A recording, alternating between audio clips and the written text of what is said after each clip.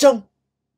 どうも、ヒカリマンです。今回は前回の続き、ウーバーユニオン発足についてのメディアの報道、それに対してのネットの賛否両論の意見に対して話していきたいと思います。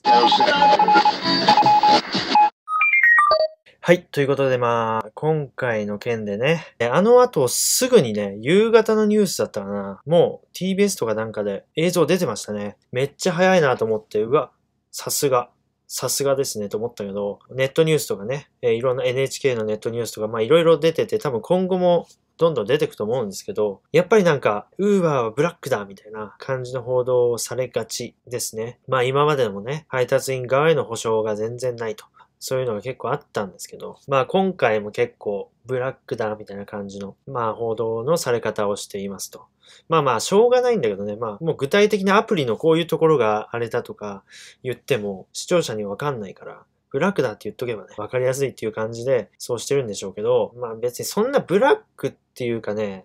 子供みたい。子供みたいな存在ですか。もう育成してる感じ。もう配達員がもうだから育成アプリだと思ってますからね。僕は。だからね、こうした方がいいですよとも明らかにこれおかしい。人を叩いちゃダメだよ、みたいな。当たり前のところがもう全然できてないから、そういうところをね、どんどん教えてあげていって、えーえーちゃんとした会社に育てていこうというアプリだと僕は思っています。普通に考えたらおかしいところはね、めちゃくちゃ多いんですよ。まあ、例えば、デリバリーアプリにもかかわらず、配達先が配達アプリに表示されないと。ピンがずれてても全然1キロぐらい先の離れたところにね、えー誘導されて、全然お客さん見つからないから、電話したら全然違いますよ。1キロぐらいも離れてますよ。みたいな。根本的なデリバリーアプリとして、これ大丈夫か？みたいな、いうこととかも全然未だにあるんで、こんなこともできてないんですか？みたいな、いうのばっかりなんで、まあ、ブラックとはちょっと違う。もう子供なんだよ。成長途中の感じですよね。なんかもう、へへみたいな。ウーバー側の開始とかもね、毎回テンプレとか、何返してもテンプレで送られてくるみたいな。こういう返しにはちゃんとこうやって返さなくちゃダメだよっていう教えてあげないといけないぐらいのね。え感じですと。で、まあ、ウーバーブラックだみたいな、それに対して、ウーバーイーツ配達員がちょっと集まって、まあ、ウーバーイーツのユニオンを作りましたっていう報道なんですけど、まあ、それを見てネットニュースとかね、そういうところのコメントとかには、え、個人事業主じゃなかったんだ。いう意見とか、まあ、個人事業主なんですよ。で、個人事業主だとしたら、なんでユニオンとかやっちゃってんのなんで労働組合とかやっちゃってんの？労働者じゃないじゃん。いう意見とかね。多分今これからね、こういう働き方どどんどん増えていくと思うんです。会社とかと直接契約しないで全部フリーでどんどんやっていく働き方ね。えー自分の好きな時間に働ける働き方にどんどんどんどんこう、これから先になってくると思うんですけど、で、ウーバーがちょっと早すぎたっていうのがあって、多分そこら辺理解できてないところも人もね、多いと思うんですけど、やってることを普通に働いてる労働者と同じなのに、労災とか、まあそういう保証の面とかで、そういうのは勝手に自分でやってくださいみたいな。いいとこ取りみたいなウーバーにされてないみたいな。そういうところを訴えていってるんですけどね。で普通に理不尽な賃上げとか、そういうのを要求してる団体ではなくて、本当にもうお客さんが入力した配達先は Uber Eats の配達アプリにちゃんと反映してくださいみたいな。当たり前のこと。そういう当たり前のことを要求していくことをしてるんですけど、賃上げとかね、そういうなんかうさんくさい感じに見られがちなんですけど、何も知らない奴が言ってるからしょうがないんですけど、で、そういう、まあ、ネットニュースとかのツイッターとかに上がったネットニュースとかでのコメント欄とかね、大体二つに意見が分かれてて、いや、そんなことより交通ルール守れよ。と、嫌だったらやめろ。この二つ。まあ、交通ルール守れは、もう一番最初から言われてたことだから、まあ、しょうがないっていうのはあるけど、いや、交通ルールはね、逆に多分、ウーバーイーツ配達員の方が守ってると思うわ。一般人の自転車乗ってるやつより。で、なんでこんな言われてるかっていうと、もう、ウーバーイーツ配達員、言いやすいから。なんかもう的にされやすい。めっちゃもうなんか下に見られて、言いやすいから多分めっちゃ言われてるだけで。で、しかもめっちゃ大きいバッグ背負ってね、目立つし。そしたらもう印象にめっちゃ残りやすいから、それでもうウーバー、あ、またウーバー配達員だ。またウーバー配達員が信号無視してる。記憶に残りやすいから、もうウーバー配達員イコール交通ルールを守らないやつみたいな。よく一般人の方も見てくださいね。ほぼめっちゃやばい運転してますから。だから、ウーバー配達員は多少抑制されてますから。一応看板背負ってるっていうのもあるから、カバン背負ってない時でこの路地のこの交差点、もう全く深夜で何も通ってないところ、ここ仕事中じゃない時はもう信号無視しちゃえみたいな言っちゃってる人とかもしいたとしても、カバン背負ってる時はちょっとなんか人目もあるから、あちょっとちゃんと止まっとこうみたいな。普通の人だったらそうなるから。で、そうなってると思う。で、これ、ウーバーイーツ配達員の交通ルールを守れって言ってるのって、ウーバーイーツ配達員って一般人ですからね。で、これ自分自身に交通ルール守れって言ってるようなもんですからね。もともとっていうか、一般人個人事業主の全員みんな個人事業主なんで、だから結局一般人の自転車乗ってるやつって大体やべえから。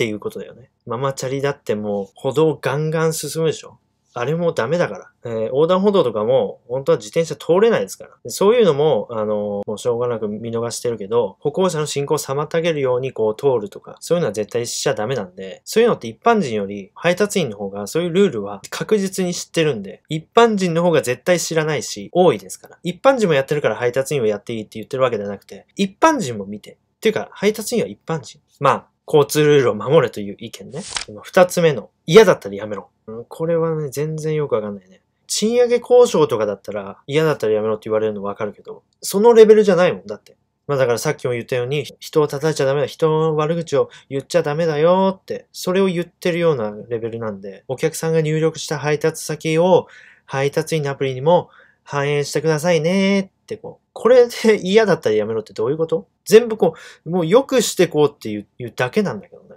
嫌だったらやめろっていう意味も、それ言いたいだけじゃん。嫌だったらやめろって言いたいだけ。嫌だったらやめろって言いたいだけ。嫌だったらやめろって言いたい。嫌だったらですね。うん。だから本当にね、嫌だったらやめろはね、本当によくわからない。で、まあその、主にその二つなんですよ。で、そういう Uber Eats 配達に対してアンチコメントをしているアカウントを全部見ていきました。そしたらほとんどのアカウントが、フォロワーめっちゃ少ないの。別にそれ、あの、この悪口を言うために作ったアカウントとかではなくて、もちろんそういうアカウントも何個かあったけど、普通にこう、適度にね、えーツイートしてるにもかかわらず、めっちゃフォロワー少ない。フォローはめっちゃしてるけど、フォロワー全然少ないアカウントばっかりなのよ。フォロワー数の方が上回ってるアカウントを多分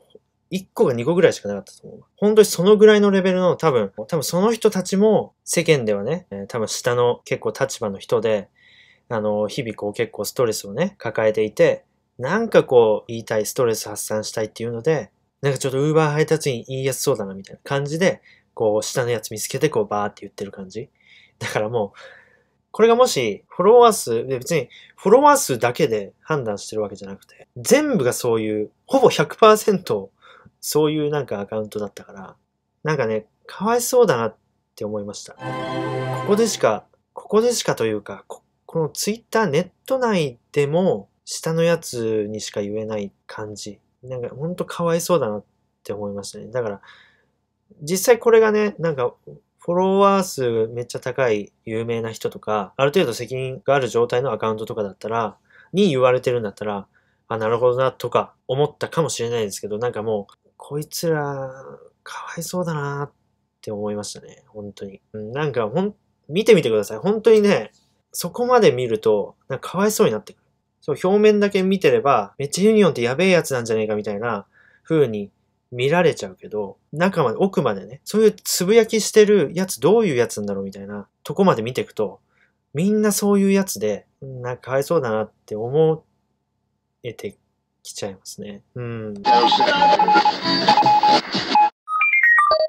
そうね。で、配達員もね、配達員の中にも結構嫌だったらやめろよみたいな。ユニオン準備会の時とかではもう全然一切話題にしなかった人たちがメディアに結構大きく報道された途端にめちゃくちゃ意見してきたりとか、いや、それだったら準備会の時とかにもどんどん言ってきてくれよって思いましたけど、配達員の中にも嫌だったらやめればいいじゃんみたいな。お前たちのせいで配達料金とか下がったり、あの、アプリ解約したりとか、めんどくさい手続きとか増えたら嫌だみたいな、いうね、コメント結構あったんですけど、いや、そんなユニオンのことを思ってんだったら、ユニオンに自分が入って、そうならないようにさ、やればいいじゃん。なんか軽いんだよね、コメントが。なんかもう遠くからこうバーって言ってるのも全然何にも、このツイッター内でそうやって言ってるだけの人たちって、結局何にも行動しないから、実際このユニオンに集まった人たちは、ツイッターだけでね、ぐちぐち言って発散してるような人たちとは違って、本当に良くしようと、ウーバーのアプリとかおかしいところ改善していこうと思って集まった人たちなんで、ツイッター内で愚痴言って、あのーストレス発散できる人は、仮に、まあ、良くしようとして行動しているけど、仮にもう、この人たちが言ってるように、解約、アプリ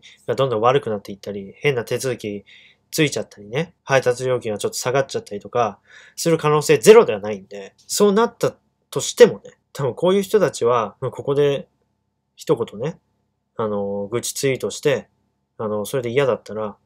うん、やめればいいし、それでストレス発散できるんだったら、それでいいんじゃないですかっていう感じですよね。うん、それぐらいの、あの、行動力しかないんだから、そうすることしかできない。だからもう全然そこがね、違うのよ。だって、まず俺はね、最初ユニオン本当にやばいなと思ってた側だから、それで本当にやばいのかっていうので、準備会とかに参加したりとかして、で、どんどん話聞いてって、ああまあ、そこまで別に悪くない。規約とかもね、えー、ウーバー配達員からこう、お金をこう、搾取しようとしている感じにしようとしてるんじゃないかみたいな、最初思ったけど、そういうのも別にないし、ただもう普通に、ボランティアで、みんなね、ウーバー配達員、で、あの、弁護士さんとかは、ウーバー配達員のこう、働き方もっと良くなればいいなって、ボランティアでやってくれてて、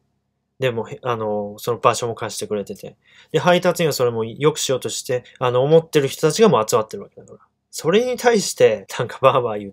てる神経がもう理解できないわ。本当に。いや、もちろんね、あの、名前を、弁護士さんとか、ボランティアとは言いつつ、まあこう、名を売りたいとか、紹介してる東京ユニオンとかね、えーそういう名前を売りたいみたいな、いうところも、もちろん実際あると思うし、だとしても、別にそれは、それはそれでいいじゃん。それだって Uber Eats 配達員の働き方もこう良くなるし、にもプラスだ。どっちにもプラスだったらいいじゃん。で、それ、そこになんで言ってきてんのかって意味がわかんないよね。どんどん改善しようとして、やってる団体に、でもその行動でなんか悪い方向に行ったら嫌なんで、はい、やめてください。だからダメなんだ。だから、何も成長し、何も成長してない。ずっとそうやって生きていくのか。ずっと。ウーバーに、はい、これやって。はい、これやってください。はい、これやってください。はい、こっちに行ってください。はい、ここやってください。みたいな。上にこう言われて、はい、はい、あ、でもこっちはこういうした方がいいと思う。あ、わかりました。はい、はい、つってやって、で、ウーバーの全く知らないツイッター内で愚痴を言って、で、またウーバーオンラインにして、はい、はい、こっち行けます。その繰り返しで死んでいくのか、お前ら。なあ、そろそろだぞ。そろそろ。考えろ。俺は、言っていくから。どうなろうが、あ、なんかおかしい。あ、これ絶対おかしいなと思ったら、俺は言ってくから。で、今までも言ってきたし、もうコンビニバイトですらもう5年ぐらい勤めてめっちゃもうスキル、もうめっちゃできると思ってたから。もうどんな仕事もできると思ってたから。で、新人入ってきて、新人と同じ時給、おかしくないですか？上げてください、つって。コンビニバイトですら言ってきたから、おかしいことは言ってかないと。だって仕事のスキルが明らかに違うのに、2倍ぐらい。あなたたちはそういうの言えないで来たんでしょ？こういうなんか、ネット内でただぐちぐち言って、それでストレス発散して、他のところでストレス発散して、で終わってたんでしょ？もう言ってこうよ、それ。おかしいところは。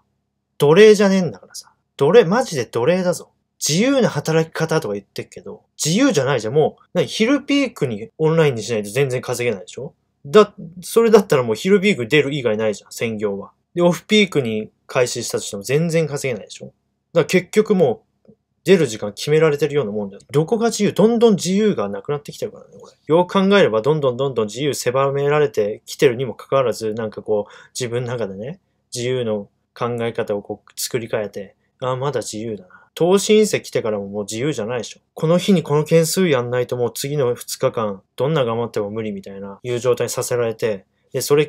もうめっちゃ高い件数のね、設定にさせられてる人は、それクリアしない限りも相当給料も低くなってるし、どんどん自由奪われてるの気づきませんか？そろそろ解放しましょう。おかしいことはおかしいって言いましょう。ずっとそのままですか？ずっと今のまま？そうやって死んでいくの？あ、やべ、ウーバーの時間だ。